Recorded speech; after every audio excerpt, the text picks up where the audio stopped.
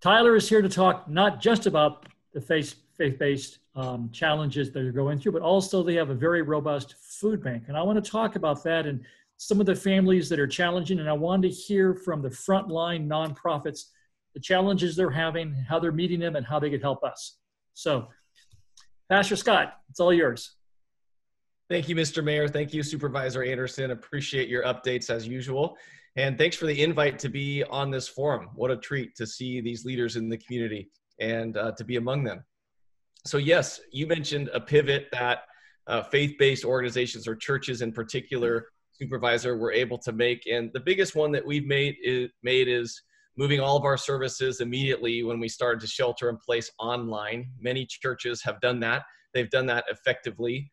And some churches were not able to do that immediately. So, one of the things that we were excited to do at the beginning of this is we had some of our tech producers and team reach out to other churches that did not have their services online and help equip them and empower them to get their worship services online so that they could reach their people and their people could reach us. That's just another way of being for either other churches or people in the valley. Our, our church is really big on this this this motto called for the valley and what that simply means is for far too long, the church has been known for what it's against, and we want to be known for what we're for. We're for the people of the San Ramon Valley, we're for the first responders, the, the local businesses, the families, the local government, and those types of things.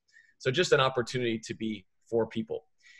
Mr. Mayor, you mentioned the the food bank. We do have something called For the Valley Fridays. We have them every Friday afternoon between 2 and 5 p.m. And this is an opportunity. We, they have been drives of, of food. We've allowed people to bring their, at first, we allowed people to bring their extras, their extra clothing, uh, their extra tents, their extra sleeping bags. Now we've narrowed it because the real need is food. Our primary partner for a food bank is actually Monument Crisis Center out of right. Concord. They do a phenomenal job. And so even this Friday, you can bring your canned goods down. We'll collect them between two and five at our church. It's 222 West El Pintado, right in downtown Danville off Diablo Boulevard and or Diablo Road, excuse me. And we can take those for you. But there, I kind of made a little list of the different ways that people could serve during this time. And the food drive, Mr. Mayor, you're right, is one of them. And that partnership, Monument Crisis Center, they do great work. They've been a local mission partner of ours for many, many years. But believe it or not, because people are still sheltering in place right now, I believe and we believe that one of the best ways that people can serve, because that's people are wondering, how can we serve others during this time? I think the best way is to love their neighbors. And I mean their actual next door neighbors. And could be as simple as asking this question. It's a great question, I think, is what does love require of me? During this time. And it might be as simple as, oh, I'm going to wear my mask when I go out in public. But it also could be, I could reach out and actually get to know our neighbors on a walk and recognize that many of them may be struggling with things like depression or uh, fear. There's a lot of fear in, in our culture, in our community right now. Well, there was a lot of fear at the beginning. Now it is um, transitioning um, among a lot of people into annoyance and anger and they they really want to reopen as quickly as possible as some of the goals that we set at the beginning are being achieved. But going on a walk and talking and checking in with your neighbors and seeing ways that you could serve them is a really easy way to love your neighbors right now. Another way you could serve is to support our local businesses. We we hear about meals at local restaurants that are able to do takeout, but many of those local businesses are actually serving others as well, and you could partner with them. And then the, the last thing that just kind of jumps to my mind is many of the most at risk people in our community, which are our seniors, have needs either at their homes or their larger group homes. And it could be anything from landscaping to shopping to running errands to a, another and this may seem small, but it's particularly meaningful to people, especially if they're not able to get out during this time or, or receive visitors or have that, that human touch that is so important to people. Handwritten notes is something that we've, we're efforting to do with uh, you know our congregation is very big it's a few thousand people but we're we're efforting uh, as a staff right now to engage every member and regular attender in our church through phone calls and handwritten notes to check in with them personally and that could do wonders for people that are at your actual next door neighbors yeah, I could name a couple other things. We've we've had a couple of blood drives that have been totally sold out. We have two more set up that are coming up in the coming months, one in June and one in July. Uh, but seniors and we have a counseling center. I've heard from many people, and Dr. Joseph, you would be probably the expert to speak into this, but heard from many that that anxiety and fear and depression are on the rise. I've heard, and you probably have too, that, that the suicide rates are skyrocketing during this time and people struggling with addictions and that sort of not get able to get the support. But we have a, counseling center, CPCC, Community Presbyterian Counseling Center, that believe it or not has been able to pivot to uh, online or Zoom based counseling very, very quickly and they have not seen a drop in their their counseling appointments. As a matter of fact, the last month or two, they've seen an increase over some of the prior months of this year. So we're very glad to be able to offer that type of support and service to our community.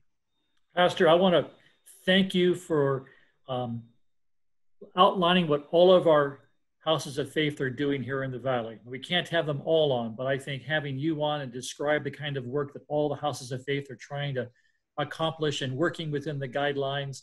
Um, thank you for highlighting the mental health issue. There was an article that came out yesterday that a lot of physicians at John Muir are actually concerned there are more suicide deaths going on, spiking than actually COVID deaths. And it's something we have to be very, very mindful of and, and incorporate into our decision making. I have a question for uh, Mr. Scott. Um, how do you see faith based organizations changing the way they provide services in the future? Well, I think the biggest change is the proliferation of online services. I, I really do think that those are going to go up and they're going to stay up. We, we've just seen like like 5x the increase in online participation. I think worshiping online will be a, regular option of the way. I don't think it'll ever replace the gathering, the actual gathering of the physical church, although I do think we're still quite a ways away from that um, as eh, I can speak from our church, we're Stephen, we're going to follow the guidelines of the county and and the follow the guidelines of the government. I, we're not going to get ahead of that. We're not going to open our doors. Ours is one of, if not the largest church in our area, and so we're definitely going to be in the latter phases of opening because of the sheer number of people. So, in terms of expectations, I think we're going to end up being the last group to open. And I'm okay with that because we want to be for the people. We're actually we're in an area where uh, if you look at pastors or people that in faith-based organizations as shepherds, which you see in the scriptures, a common uh, uh, reference for that. We're we're not really protecting sheep from wolves at this point. We're trying to protect sheep from other sheep.